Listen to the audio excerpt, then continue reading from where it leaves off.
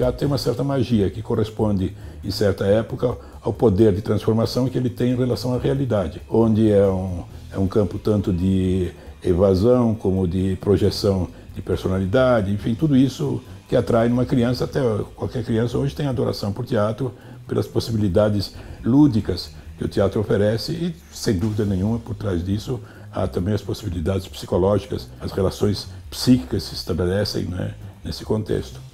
E aí eh, foi aí que foi o meu primeiro contato com, com, o teatro, né? Mas nunca pensei em ser ator. Não, sobre a minha terra natal não tenho nenhuma lembrança. Eu vim para cá com três anos de idade e, e realmente eh, sobrou muito pouco, ou não sobrou quase nada. Da viagem eu tenho algumas lembranças muito vagas, né? E nós chegamos no Brasil em, em fim de, de 24, início de 25, não lembro exatamente a data, né?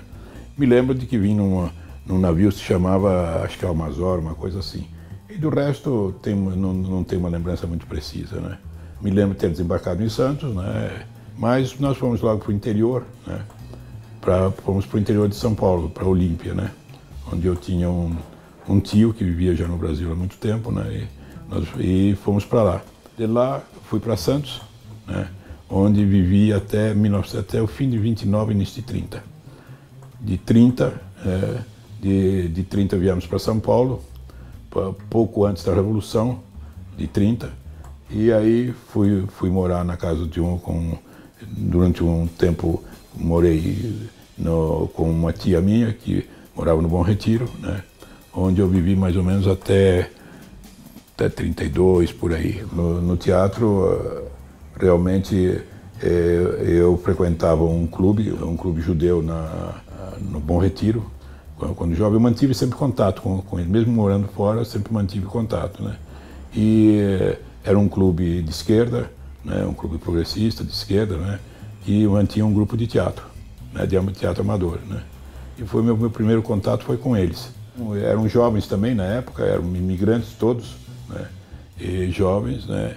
E estavam empenhados, muitos eram politicamente ativos, estavam entre, digamos, os criadores, alguns deles foram tiveram papéis políticos até importantes aqui em São Paulo e no, no Brasil, né?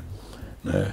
É, sobretudo na, com, com, a esquerda, ou mais especificamente com o antigo PCB, né? E, uh, esse foi, e havia esse grupo, e esse grupo sempre me interessou, a razão não sei dizer, o teatro tem uma certa magia que corresponde, em certa época, ao poder de transformação que ele tem em relação à realidade.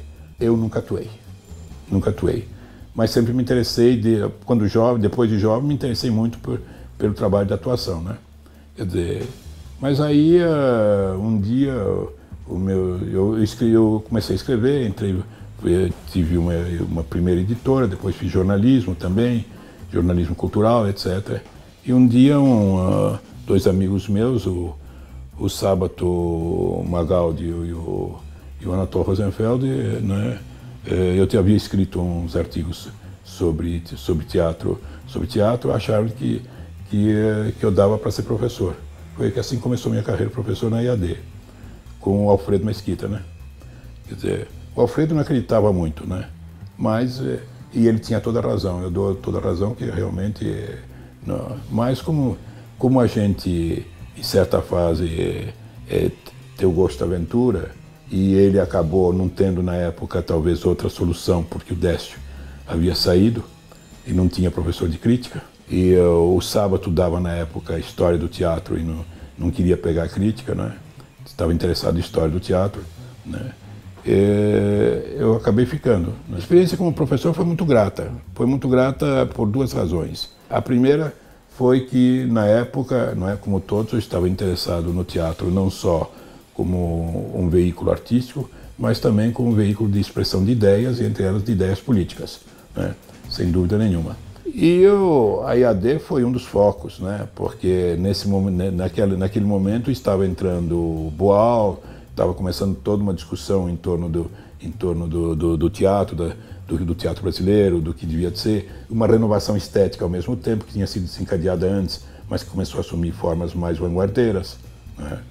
É, tudo isso estava ocorrendo ali, não com plena consciência de todos. Discutia-se ideias, mas não se tinha muita, muita noção, às vezes, do processo transformador que estava ocorrendo em função dessas discussões. que provinham não só das ideias, como do mundo que estava se transformando à volta de, de, de, dessas ideias. E nesse diálogo, né, as minhas aulas sempre foram um diálogo, né, e nesse diálogo eu acabei me interessando pelo tema. Né, e uh, essa foi uma das razões. Outra razão foi minha pessoal, né, que realmente eu, quando entrei para a IAD, eu tinha, tinha acabado de sair da difusão europeia do livro, onde eu trabalhei quase 10 anos, e uh, estava perguntando a mim mesmo para onde eu iria. Né? No, então havia um problema pessoal também em jogo, né?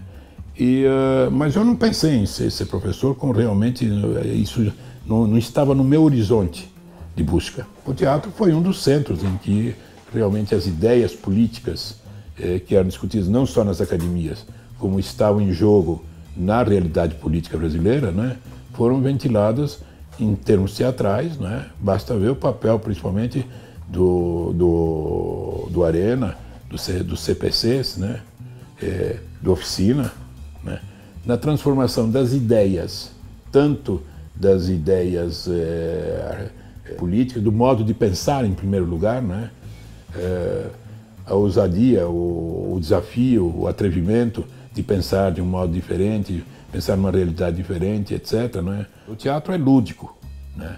mas ele é lúdico, na, ele é lúdico ao mesmo tempo que ele é promotor de ideias. Né? Ele transmite ideias, vivências. Né? A partir de vivências, é, das vivências dos homens, ele coloca aquilo que os homens vivem, o que eles, o que eles pensam, o que eles sentem e o que eles buscam. O teatro é um meio quente. O cinema, o cinema e mesmo a TV são meios frios. Você passa por uma intermediação. A relação teatral é ator, ator-espectador. Então eu vejo o teatro hoje como uma coisa extremamente rica em relação àquele aspecto muito definido, muito, muito determinado que era anteriormente. Tem problemas? Tem problemas gravíssimos. Problemas não só de ordem material, são os mais sérios, né? mas isso faz parte de, de, de tudo na vida. Né? É, é, não, não, adianta só pensar que, que, um Estado ideal iria financiar tudo isso. Né? Iria estabelecer a sociedade dos justos no, no paraíso terrestre. Né? Até hoje nunca existiu isso e provavelmente nunca existirá. Enquanto os homens não se destruírem com uma bomba atômica, não, não, tem, não, não existirá. Talvez aí depois quando eles voarem lá para o alto, aí pode ser que exista.